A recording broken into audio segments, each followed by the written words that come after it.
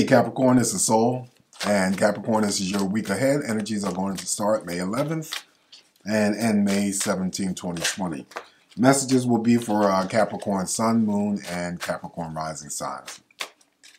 Capricorn, I hope all is well. I hope you guys are still still staying strong, still staying positive. And also just a quick announcement here, uh, Capricorn. I do read all the comments.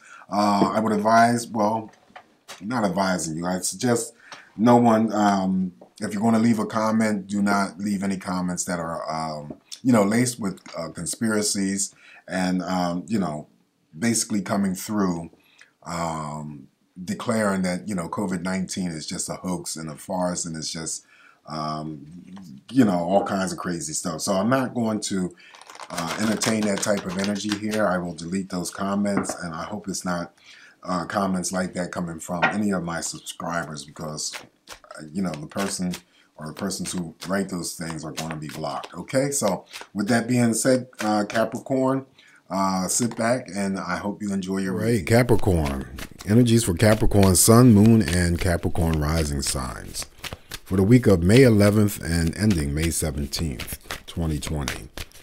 There are some reversals here, uh, Capricorn, and I did forget to mention that I am using the modern uh, medieval medieval tarot deck to deliver your messages as well. Okay, so let's see what's coming up for uh, my fellow Cappies. Well, if anybody follows uh, Vedic astrology, I'm uh, according to them, I'm a Capricorn ascendant. So, but it when you read that, you know, because there's Western uh, astrology and there's Vedic astrology, I feel this is just me personally that Vedic is uh, more accurate than the Western.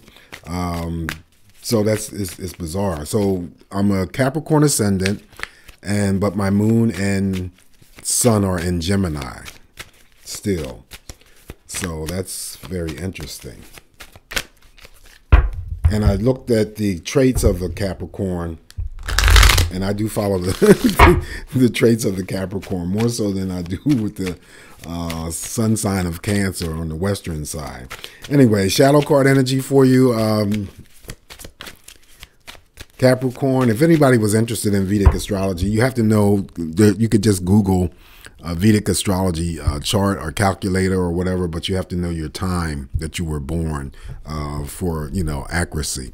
We're going to start off with the Four of Cups, and the Four of Cups here is about uh, it's still my social interaction type of energy. So it could be that you're you know socializing you know, with your family. The cups do represent children for me on a small scale. Okay. It could be in the support of your friends, your family, your extension family. It could be your romantic partners. And uh, it could be that you're married uh, Capricorn and this four cups will represent you and possibly your two children and your husband, wife, and so forth. But I get the energy here in spite of, you know, whatever these creators do in terms of, um, you know, depiction you know, the hand is there offering, and she doesn't, the person sitting there doesn't want it. There's three cups before them, so it's an offering that she's refusing. I don't always pick up that energy. For me, it's the uh, enjoyment of sharing equally the energy of uh, whoever is important and significant in your life, okay? And just, it's an emotional, because the Four of Cups is still an emotionally good card. It's about that love, and it's about whatever the energy you put out towards others it's the number four it's equal so you're equally getting the uh, the energy back in return cancer scorpio pisces represents this four of cups all right, so we're going to focus on your um, first card here, and that's the Five of Swords. So this is the energy of minor inner conflicts or external conflicts. So uh, Capricorn, it just depends on you to uh, figure out what is uh, conflicting you. It may not be as high as five stressors, but something uh, might be going on. So it might be just a progression of the things that you deal with or encounter during the week. Uh, again, but the five is the reference of uh, being on a small scale. So don't put too much worry or too much emphasis on it. Uh, the most important thing is identifying, you know, if you have current stressors or there's those stressors that come up along the way, and then try your best to alleviate uh, whatever stress that is. Hopefully, it's not coming in uh, from the external side, and it's just you trying to uh, sort something out uh, within yourself or that's involving just you personally. Okay, so Five of Swords is um, representative of Gemini, Libra, Aquarius. Um, and what crosses that in your immediate environment here is the Ten of Staves. So yes, being very, very busy. Maybe you have uh, mental challenges, uh, you know, because you got a lot of shit coming up or on your plate to take care of. This could be, you know, those energies involving just for yourself, or it could be in connection with other people, like your family, extended family. It could be involving your relationship. The Ten of Staves or the Ten of Wands gives you that energy boost to do all of those things that may come up or you know that are you know on your plate or may come up along the way all right? That's all that i'm seeing that. And then once you are able to um, do all the things that you know crop up for you then there's going to be a change of energy. So it's like the, the, the ten of the ten of staves always reminds me of um, uh, what's the energy drink? The red bull you know people drinking that so they could they can have that energy that boosts uh, so they can make it through, um, you know, the day or whatever they're set up to do. So, um, but also too, I always say that if you know the energy is related to the Ten of Wands, if you're feeling overburdened, if you're feeling like you're carrying a heavy load, and that energy uh, applies to you, then so forth. This is the message that's coming uh, forward, and then notice that it's crossing the Five of uh, Swords as well. So that might be a link there uh, that you know you're having these mental challenges on a minor scale because there's uh, something going on with you that you know you need to sort out um, either it's involving you personally or it's involving um, other people or it could be just both you know you and other people so you just have to figure it out what is, what's going on now the seven of staves is coming up here, following that ten of uh, ten of staves. This is my do not fold, do not bend card. All right, so when we have the um, challenges of the Five of Swords showing up here. That's decision making. Of course, it's mental challenges. Whatever you decide to do when moving forward, um, Capricorn, this card here is for you to stick to the guns. All right. Do not fold, do not bend, do not succumb on the internal pressures of changing your mind and doing something completely different than what you were set out to do originally. And do not let the external, uh, the other people, uh, persuade you to change your mind and doing something totally different. The reason why I'm saying that Capricorn is because I always get with this Seven of Wands, I don't care what deck I'm using, is that if you don't follow through, okay, what you've come up with in terms of decision making and uh, making moves, then there's a regret here, okay? You don't want to end up with any types of regrets. Seven of uh, Staves represents um, Aries, Leo, and Sagittarius. Next up is the your energy, three of coins. This is my uh, collaboration card. This is my um, reward merit card. So maybe three days that someone gets recognized for some sort of work that they've done. This is uh, working with a group of people. Could be working with a group of people. Uh, it's related uh, twofold here. It could be um, working together well with others in the workplace environment, or there's something else that's going on and you're working with one or two other people uh, and it's outside of the workplace environment. Now, that does not mean that it has to be, uh, you know, anything related to coworkers. That could be your family. That could be, uh, you know, your family and you're working on a project with your family, but you're on the same page trying to work on the same goals to achieve the you know the same benefits okay this could still mean that someone is working extra hours, extra, yeah, extra hours to receive extra money. It could be part time work. It could be just working extra hours on your current job. Uh, this could be uh, in the form of collaboration, handshaking, or an agreement. Uh, thank you, pat on the back, a job well done. You get recognized for something. Um, Capricorn. This could still be a small pay raise. This could be a small bonus. So that's representing your energy and uh, Taurus and Virgo. Now we have the devil. The devil I'm going to read in the upright because that is your energy and it was in the upright for a previous sign. So, you know, I have a tendency to, uh, in between recording these videos, uh, switching these cards up and not knowing which direction that I'm, I'm putting them back in. The devil is about um, restrictions or feeling restricted or feeling bound to a situation, person, or event. Also, it's about having to uh, address any types of bad habits that you may have or you know relationships that you may have um, it is about you know definitely about addiction so there could be drug abuse smoking drinking gambling uh, sex is my ruminating uh, thought card where the same thought comes to you and it's like a gerbil on the wheel and never gets off that wheel and you never seem to shake the thought uh, it's um, you know, like I said, my unrequited love card. Too much energy going into the energy of another person, and you're not getting the reciprocity back. Not saying it's you, Capricorn. It could be that someone else is interested in you a lot more than you're interested in them. Okay, that could be extended out to friendships as well. Uh, I would keep the limitations where it comes to family, but it also could be, you know, uh, the romantic um, space as well. So just know that that's what the devil is. The devil is trying to create some sort of illusion for you. And, you know, you have to see situations for what they are and deal with the people for what they present to you or not what you want uh, otherwise, because that's the whole devil's farce, okay? When it comes to drug abuse, uh, trying to achieve or any types of uh, addictions, drug abuse, drinking, smoking, is trying to achieve that initial high or the initial effect that you got uh, from the very beginning.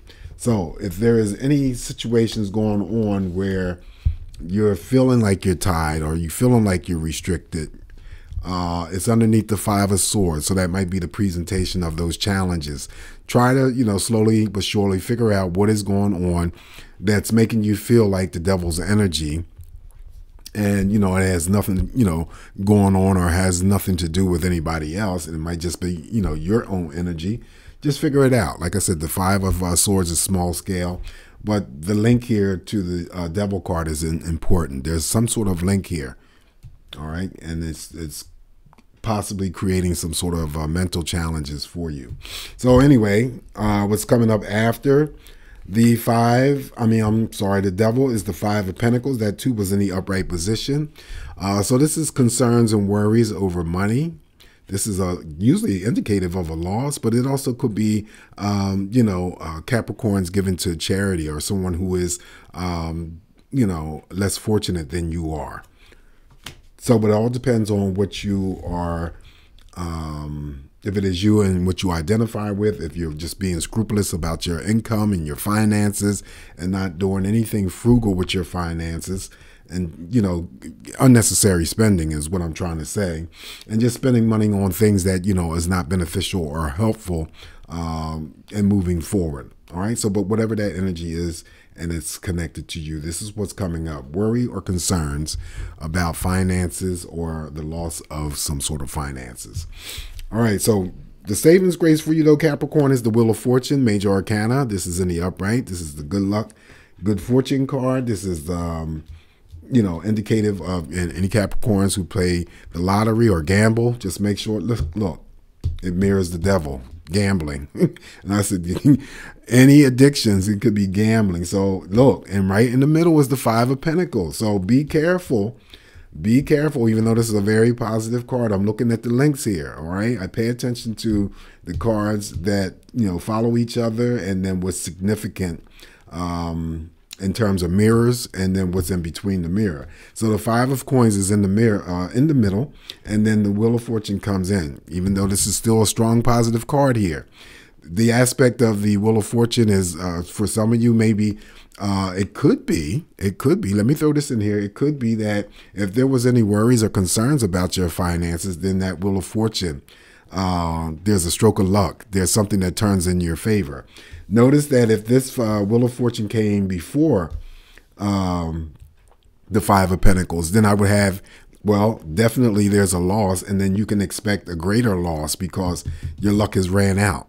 All right. So I'm looking at these cards and I'm giving you the energy of what I feel. But this is almost uh, beneficial for you because it follows that Five of Pentacles and it is a major arcana. Being at the right place at the right time. This is my fate and destiny card. So all things are possible. But I do feel that this is a significant link or a message for someone who is either uh, someone who is frugal or addicted to gambling. Uh, and I always say if you are gambling, you know, gamble responsibly. Uh, outside of that connection, there's still the possibility of large winnings. excuse me, but I wouldn't bet the farm. So be careful. And then there's a stroke of luck where something might turn around in your favor, or it could be linked to the um, Five of Pentacles, where someone's financial situation turns around for the better as well. All right. So the last card that I have is the Knight of Cups. Now, the Knight of Cups is in the reverse position. All right. So the Knight of Cups is showing up here, and this is about um, well, you know, the knights in general are people who you can depend on and rely on for the support. Now, normally the cups represents love and emotion, so that could be the support of, um, you know, receiving love and, and, and support from someone that's very close and significant uh, to you. That could be family, could be your child, it could be uh, your romantic partner, it could be your friend. Knight of Cups, however, in the reverse position is that either the energy uh, is in, in the expression of someone that you're dealing with and they're feeling some type of way, or someone is not there to support you in an emotional manner. This could represent, uh, I'm sorry, if I said knight, it's the king, the king of cups. I'm sorry, I did say knight. This is the king of cups. And, you know, he's the father of all love and nurturing and caring, supportive. So I feel that because it's elder, uh, it could be that there is some Capricorns who um, if it is regarding their parents or their parent, one parent is they're not giving emotional support. Okay, that's what I'm getting. Capricorn is not getting some sort of emotional support from an uh, an elder, whether it's the grandparent, whether it's the parent, um, because I feel that it is um, something that's personally going on with their energy, and it has nothing to do with you or there's something else going on with a link to uh, a, a, parent of a Capricorn, and then there's an addiction uh, type of energy associated with that. Because this King of Cups mirrors this devil. Hmm. All right, so I don't want to feed into it too much, but if this uh, energy is linked to uh, the messages that are linked to you, Capricorn, this is what's um, this is what I'm being shown. All right, so uh, really, it's not a bad week. You might have a little bit of challenges to deal with uh, based on the Five of Swords as your opening energy, but you have the favor of the Wheel of Fortune uh, and even the devil is is I don't the devil is the devil, okay? But I just feel that the devil shows up here uh, because there might be some sort of problems going on that either uh, need to be addressed or have not been addressed uh, to this point. But it's placing some sort of impact or uh, placing some sort of emphasis on your life or the people who are in your life that are connected to you. All right, and I do feel because this is a court card uh, this could also represent female, that there's something going on here. There's a link here uh, between the King of Cups and the uh, Devil. Okay, that could be also. Um,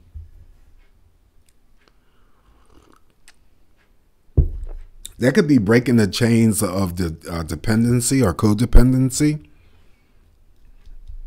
Now, it may not be apparent, but it's a relationship. And see, the devil is about restriction, feeling bound. That would be the codependency of a relationship. Just these uh, uh, energies right here. Okay. So Capricorn, this is what I have for you. Whatever you choose to do this upcoming week, do it safely. You know, I always encourage that safety. And um, please stay strong, stay safe, and also stay positive as hell. Um, you know, because we are going to get through this uh, situation. Sending you out quite a bit of lo- uh, love and light your way until I talk to you again. Be well.